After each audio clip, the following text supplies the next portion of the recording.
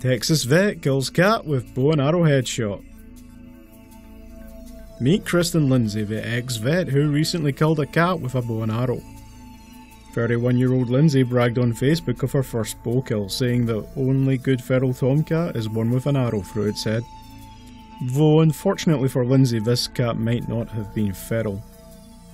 In a twist, reports suggest it might have been this tabby cat that lives in Lindsey's neighbourhood.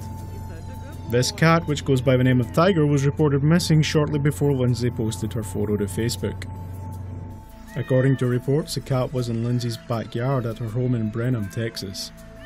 Lindsey spotted the orange and white cat and thought it was feral, so she got her bow and arrow. The former vet then shot the cat through the head with an arrow.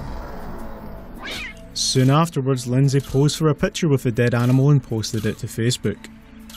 Reports suggest that Lindsey believed she wouldn't get fired, but once word got out about her actions online, Lindsey's employer was quick in giving her the boot. Investigations into the incident are ongoing. Follow us down the rabbit hole. Visit the TomoNews.net website or download the app today.